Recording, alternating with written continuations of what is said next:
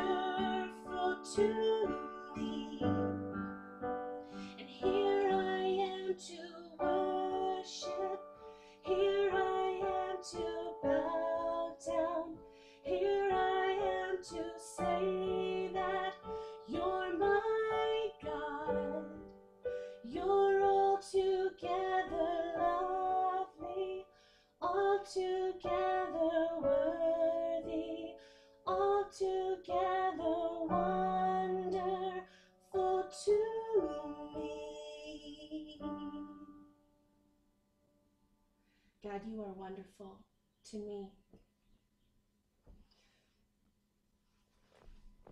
I sing this next song to my Creator, to my friend, and to my Savior, who is always with me, no matter where I am and no matter what I'm going through.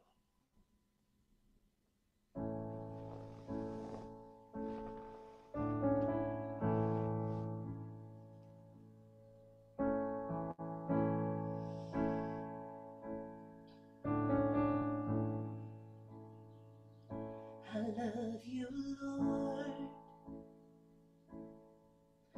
Oh, your mercy never fails me. All my days I've been held in your hands. From the moment that I wake up until I lay my head, oh, I will sing of the goodness of God.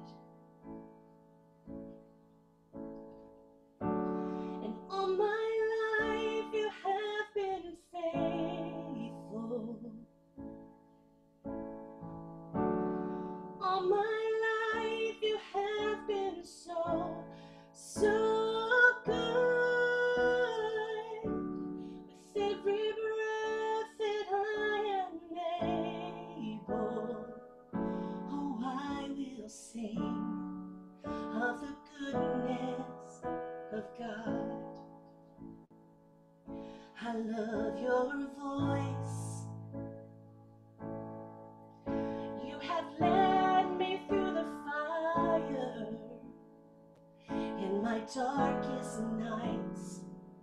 You are close like no other.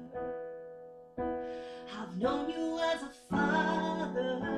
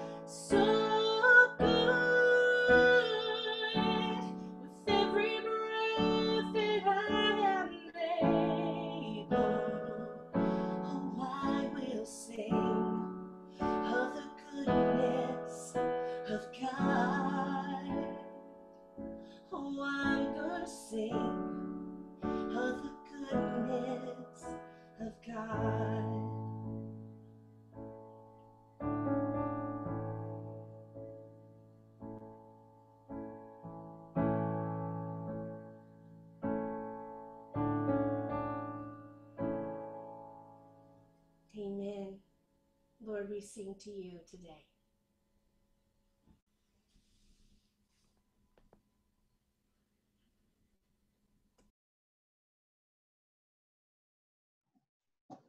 Hey, Hope Church online service. Are you glad to be here today? Welcome. Thank you for joining us. Want to say hi to all our friends and family on the ridge up in Paradise and Magalia. We love you. And hello to everybody down in Chico and in Oroville and the surrounding area in Orland and Red Bluff and up in Redding and down in Volcano and Bakersfield and Wasco and uh, we got people up at the great Northwest that have been joining us and out in Arizona, all the way to the East Coast. We had people from New York watching us uh, last week and other countries, people joined us. And we're thrilled that while we're all sheltering in place and aren't able to gather together physically like we love to, we're thankful that we have an opportunity to spread the good news of Jesus and connect with each other. And you can write a comment where you're from and that you're with us if you haven't done that. And it's very encouraging to see who's here with us. We're in a series looking at the promises of God because God's promises are something you can count on. You need an anchor in the storm. You need something that you you can put your life in that's certain. And god has a great track record and you can count on him. I'm going to go through a little quick review of the promises we've looked at. We the first week we looked at uh, jesus saying to the disciples who were going to grieve after he died on the cross he says so also you have sorrow now but i will see you again and your hearts will rejoice and no one will take away your joy. I believe that last part is not just for those disciples, but because of the empty tomb, we can have a joy that no one can take away, not even a virus. I'm not talking about a happiness from happenings, but a joy inside of us that no one can take away. And then we looked at Promise 2 the next week. And Promise 2 was from the book of Isaiah. And it was at a time when God's people were going through a hard time uh, because of mistakes and other kingdoms that were coming upon them. And Isaiah says, So do not fear, for I am with you. Do not be dismayed, for I am your God. I will strengthen you and help you. I will uphold you with my righteous right hand. And that's from the prophet Isaiah. Then, week three, last week, we looked at a promise from David in the Psalms from Psalm 9, 9, and 10. He said, The Lord is a refuge for the oppressed, a stronghold in times of trouble. Those who know your name trust in you, for you, Lord, have never forsaken those who seek you. That's a great promise. God never forsakes those who seek him. And that means if you've never done that, you can do that today, and God won't forsake you. And God loves you and wants you to come to Him. And then today, our promise number four is something from Jesus. He said, Come to me, all you who are weary and burdened, and I will give you rest. Take my yoke upon you and learn from me, for I am gentle and humble in heart, and you will find rest for your souls. For my yoke is easy and my burden is light deep soul weariness. We all experience it in life in different ways. and for different reasons. Sometimes we can point to a significant reason and say, This is why I'm bummed out. This is why I'm hurting. This is why I'm wiped out. But sometimes we can't pinpoint what it is. Our weariness results sometimes from layers of things that are built up, not just one thing physical pains, emotional heartbreaks, concerns for those we love, and the consequences of sin, whether it's mistakes we make or others make. And these things can weigh us down. We are burdened, we are weary. And they're not relieved, I don't believe, by simple cliches. Oh, cheer up, you're a Christian. Remember, everything's going to work out. I'm a follower of Jesus. I have been for around 40 years, but there are still times that things threaten to scare the crap out of me and cause me to worry. Um, you know, hanging around Jesus, if you were one of the earlier disciples, it wasn't always something easy. One of my favorite leadership verses comes from the Gospel of Mark 10:32. Uh, a leadership when the leader has to lead during difficult times. And it, and it says, they were on their way up to Jerusalem with Jesus leading the way. And the disciples were astonished, while those who followed were afraid. Again, he took the 12 aside and told them what was going to happen. Jesus was a strong leader. He's heading for the cross, and his closest disciples are astonished. They're like, man, this Jesus is something else. And the people who are around were afraid. And, and then there was another time they were in a boat, and a storm comes upon them, and Jesus is asleep. And the disciples are afraid and they wake Jesus up and to ask him, crying out to him to save him. And he replied, Oh, you of little faith, why are you so afraid? You know, right about that time, if I was in the boat, I'd have said, Well, right now we're in a boat.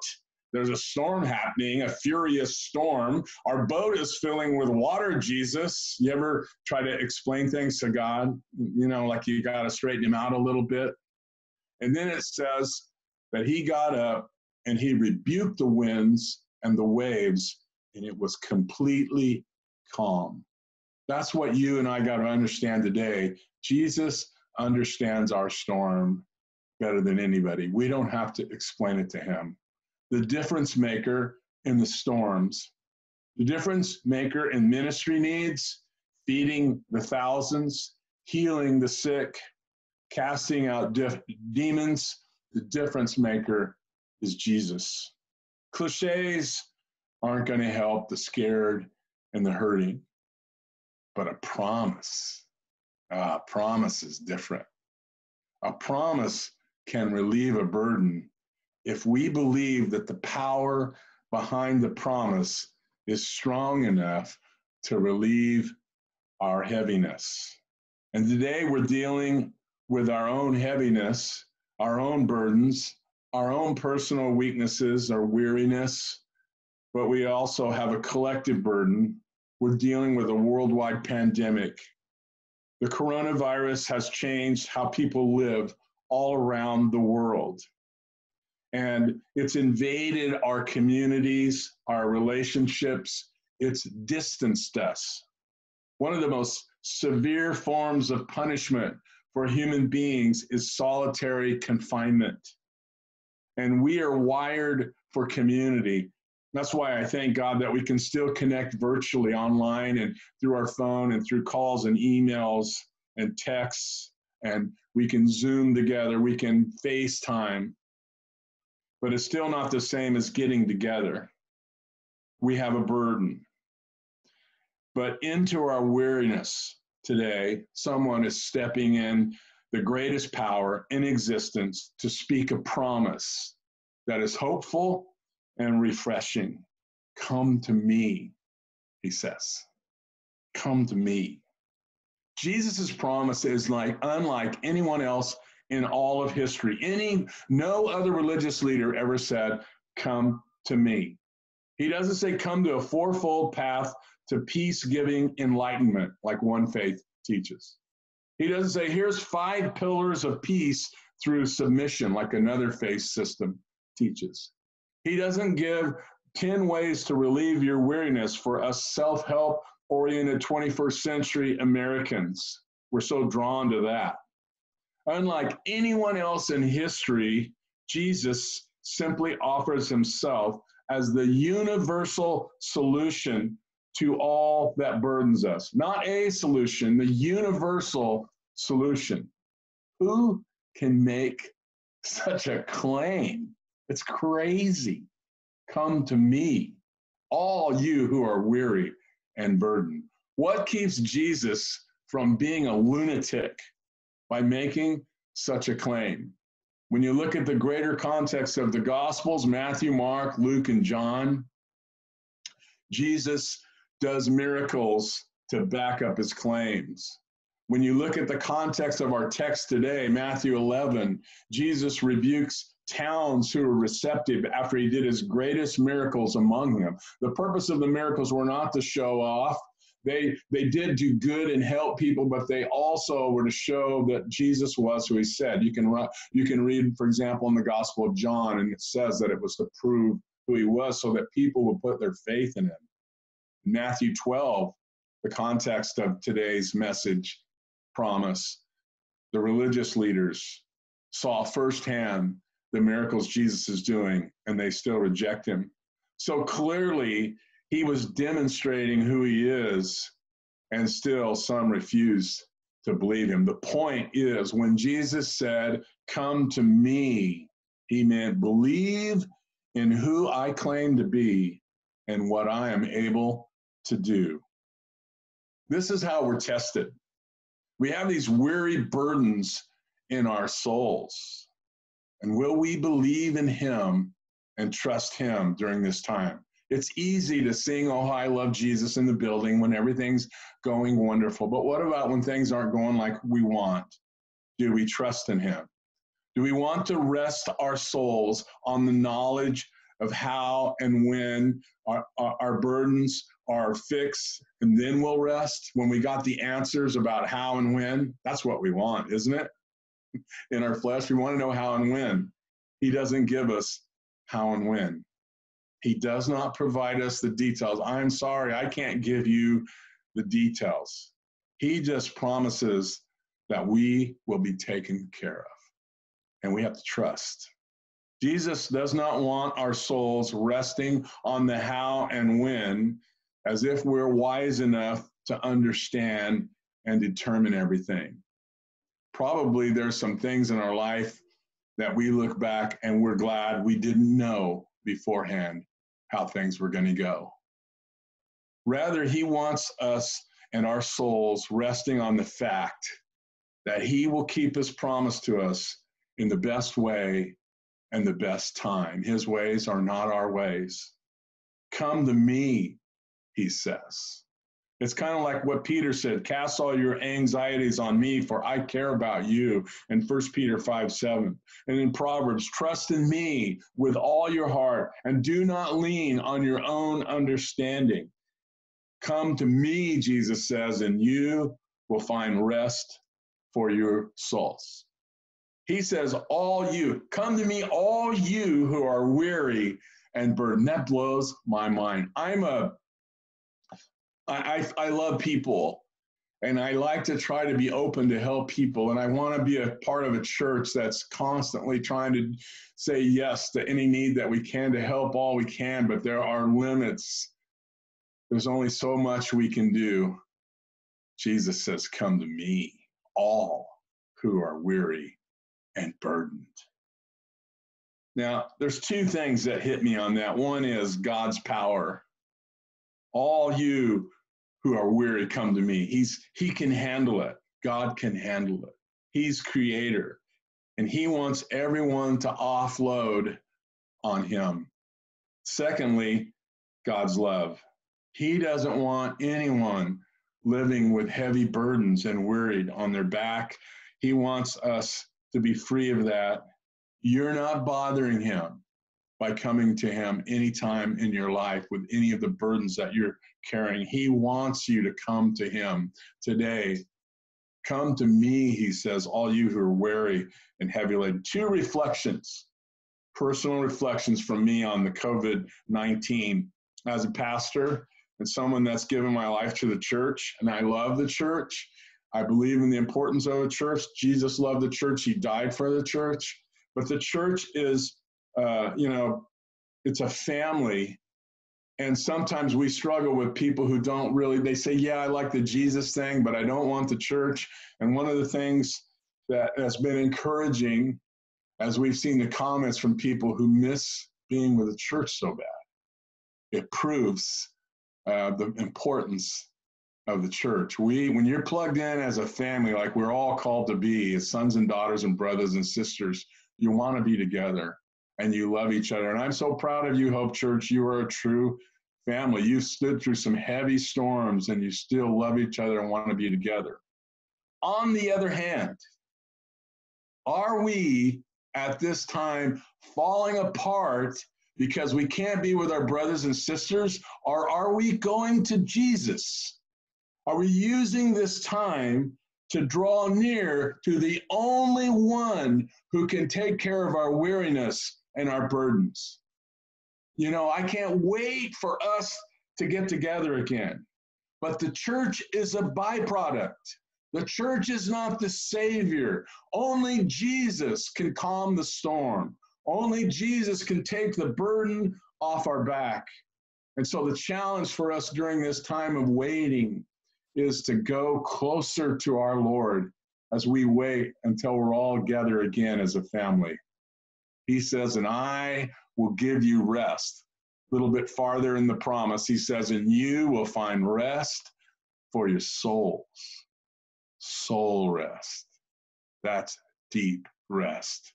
An author, Jon Bloom, wrote, Our souls only find rest in hope. That's what we're frantically looking for when our souls are burdened and restless. Hope. Sounds like a good name for a church, doesn't it? He continues, and that's what most of the marketing of most of the products in the world try to offer us hope. But they are false hopes for soul rest, providing only temporary distractions from our briefly uh, or briefly masking the effects of our burdened souls. They don't truly lighten our loads. There's only one place to find soul rest for our weary and burdened souls. David wrote in Psalm 62, 5 through 7 Yes, my soul finds rest in God. My hope comes from Him. Truly, He is my rock and my salvation. He is my fortress.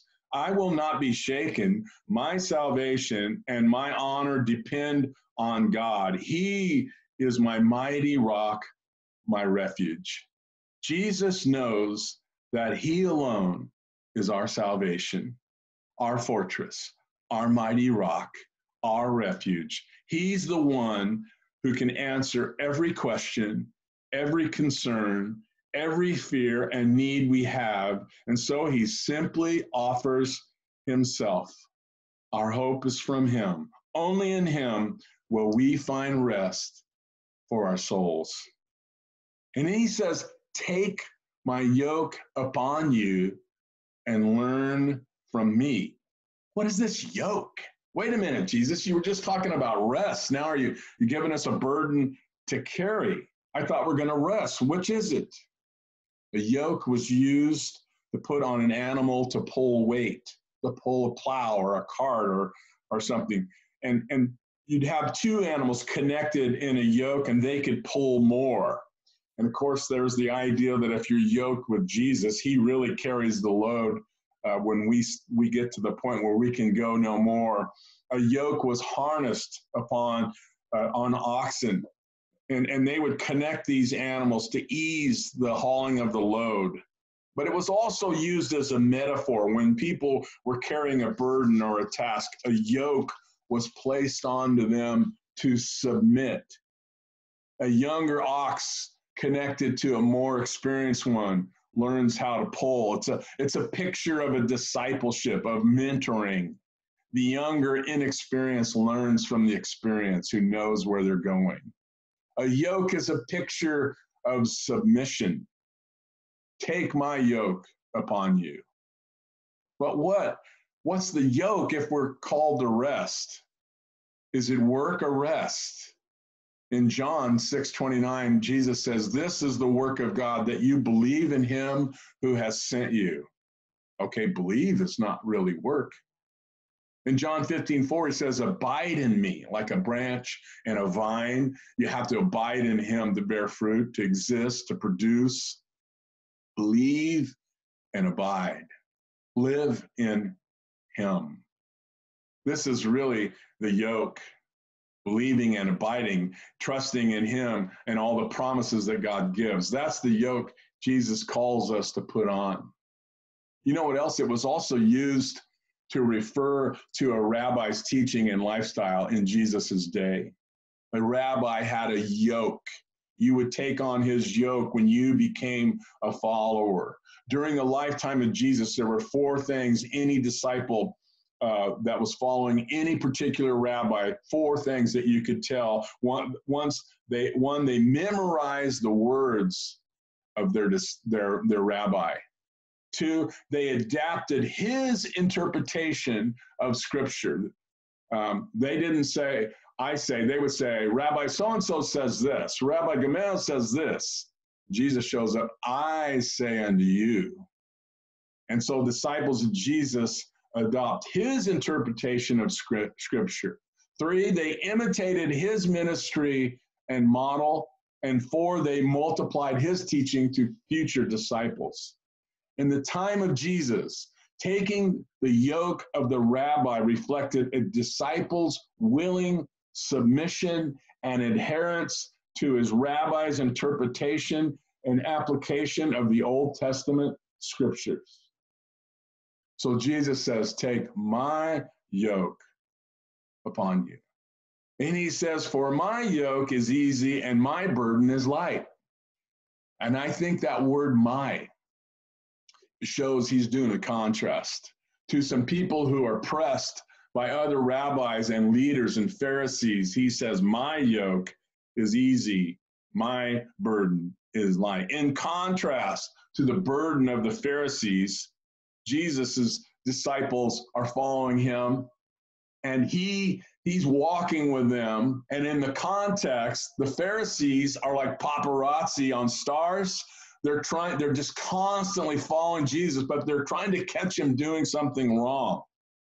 His disciples in chapter 12 on the Sabbath break off heads of grain and eat. They say, hey, you're you're working on the Sabbath. They had all these rules of what it meant to do on the Sabbath. And it was like you can't pick your nose on the Sabbath because that's work. And they're trying to find, you know, an excuse. And Jesus says, Hey, don't you remember that David who they took great pride in, ate the bread, him and his companions from the temple that was meant for ministry and for the priests. And so he's saying, it's interesting that you uh, don't find fault in David, but you're finding fault in this little thing here of these people that are eating grain. A little farther in chapter 12, uh, on the Sabbath again, there's a man with a shriveled hand. And they're watching Jesus to see if they heal. In Mark's account of this, it says that Jesus looked at them in anger, deeply distressed at their stubborn hearts. Jesus is so angry at the religious leaders. This is his day. This is where he grew up. This is his leaders of his community. And he's so angry that they care more about their man made rules than a man with a shriveled hand. And they want to try to get Jesus doing something quote unquote wrong. Well, Jesus uh, rocks the church that day. He tells the man, stand up. He could have said, well, let's wait till Monday. No, not Jesus. Stand up in front of everybody. And he heals this person. And now we see what Jesus is like. Now we see the interpretation of scripture from Jesus. Now we see why he said, I am Lord over Sabbath. And Sabbath, man was not made for Sabbath. Sabbath was made for man. It was not made to oppress people, it was to help people rest and have a day devoted to God.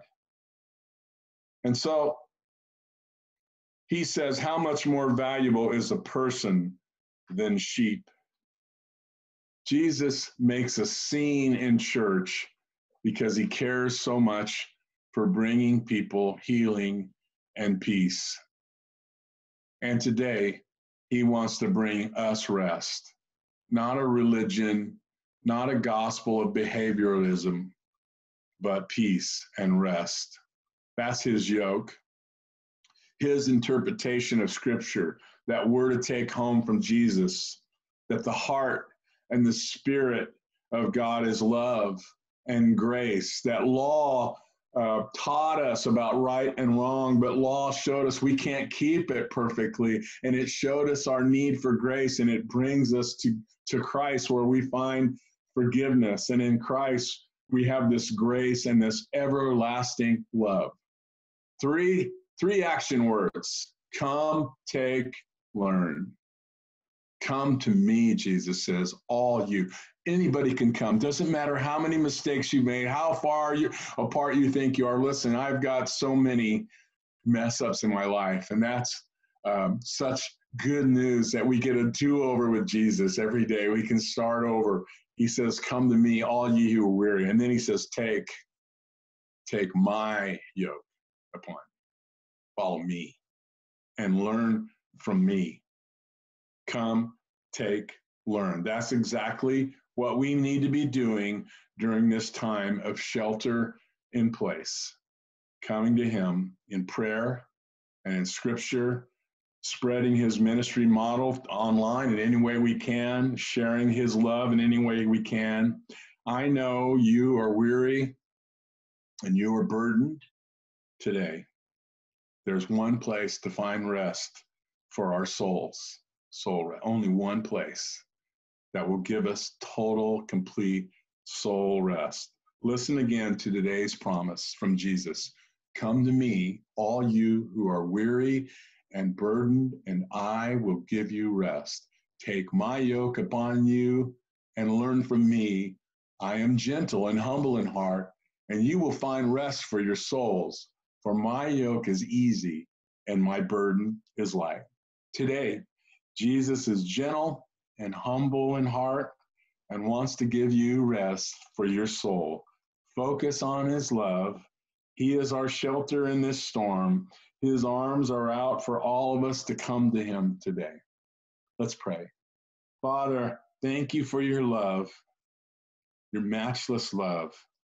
Thank you that Jesus came not with oppression, but with arms open wide for anyone to come to him. And that as we come to him, we follow him. We find rest deep in our souls. I give i give this prayer for anyone that's feeling especially burdened this week.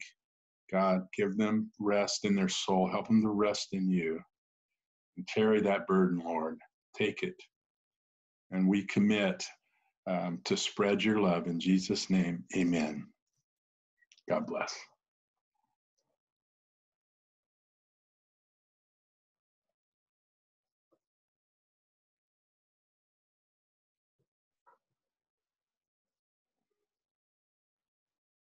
Hey, Hope. We love you guys so much and we miss you. And we're just thankful that you're staying patient with us and joining our worship, anyways, throughout this pandemic. And we miss you and we can't wait to give you all big hugs when we come back and meet together. And yeah, thank you for joining us.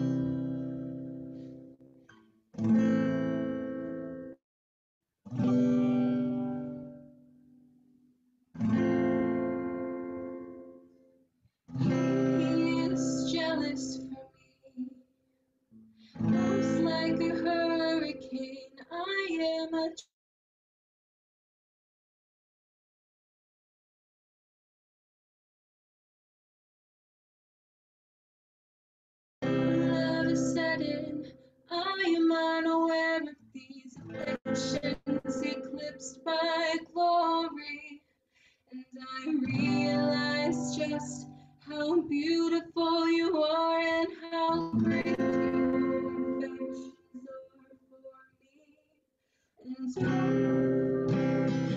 And oh, oh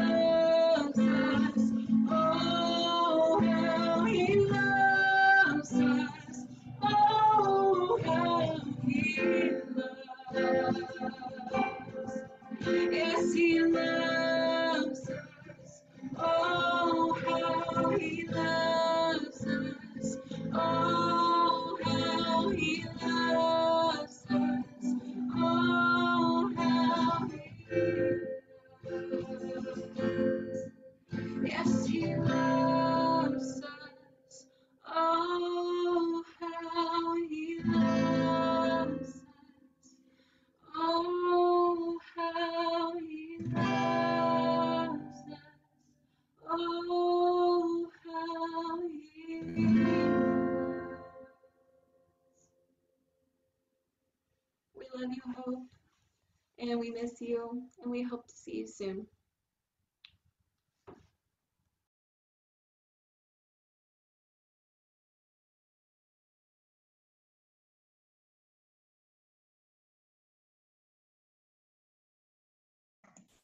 He loves us. He loves whoever's watching this. He's crazy about you and sent a son for you. Hey, if we can help you in any way, you can write me at stanfreitas at gmail.com. You can go to our website, hopechurchparadise.com, and contact us through that. Let us know also if you made any decision to follow the Lord or if you have a prayer request that we can confidentially pray for. Um, we're here to serve in any way we can, and we really appreciate you joining us. And now it's time to pray for our offering. Yay! Uh, if you uh, want to give online to Hope Church and our ministry, you can give at hopechurchparadise.com. Just find the give button and click on that. If you would like to mail it in, you can mail it to Hope Christian Church, P.O. Box 397. That's Paradise, California 95967. Uh, if you want to drop it off at our location in Magalia, 14126 Skyway in Magalia, one of the cool things about leasing a video building is we have a drop box. And you can drop that in the drop box on the right of our entrance on your right. And our treasurer, Kim, will take care of that. Uh, but we appreciate it. Let's pray together. Uh, Father, I, I pray for um, us to be a force of hope on the ridge and beyond. That's something we prayed since we began together. We had our ideas of how that would happen. We have never thought it would be this way, but it's actually happening through this broadcast to go beyond the ridge, and we give you praise. And Father, we want you to be honored. That's our, our hope and our prayer. So please provide for our needs, and we give you all the glory. In Jesus' name, amen. Hey, before we have one more great song that's going to touch your heart, what is our purpose? Building relationships that last forever. How do we do that? Love God, love people. So remember, every single day this week, in Christ, we always have hope. Thanks for joining us. Good morning, Hope. Welcome to my garage. I hope you're all staying safe and healthy. These are some crazy times that we're in, but we're children of a God that I know is going to take this situation and our fear and turn it into blessing. So let's just focus on that this morning and let's worship Him. Amen.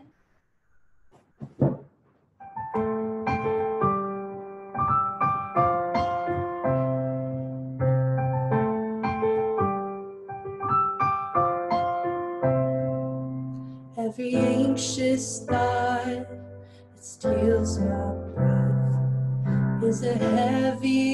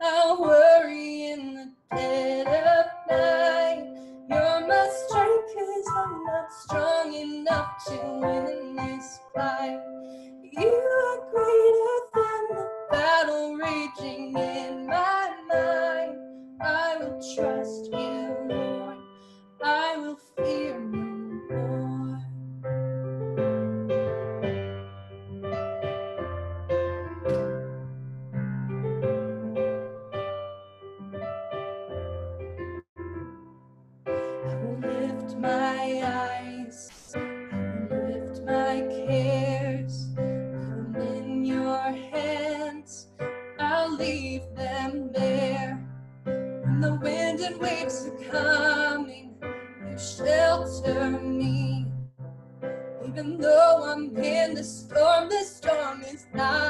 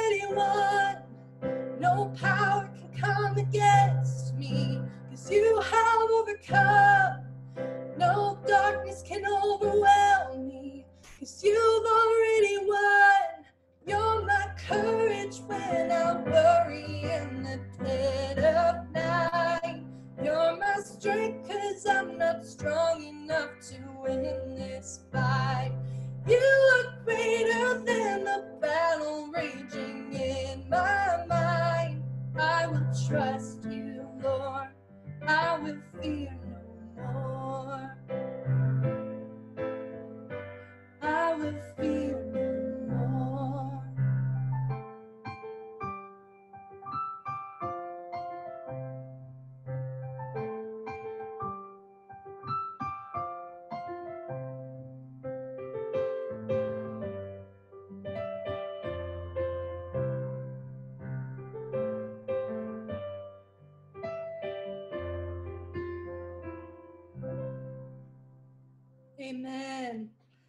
thanks for tuning in today, Hope.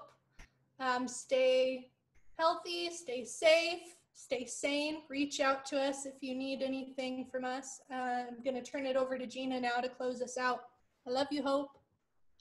Hope, we are so thankful and so blessed that you have invited us into your living room. And for those of you, this is your first time with us. We're so grateful that you have allowed us um, the honor of being part of your Sunday morning, and we hope that you will join us again.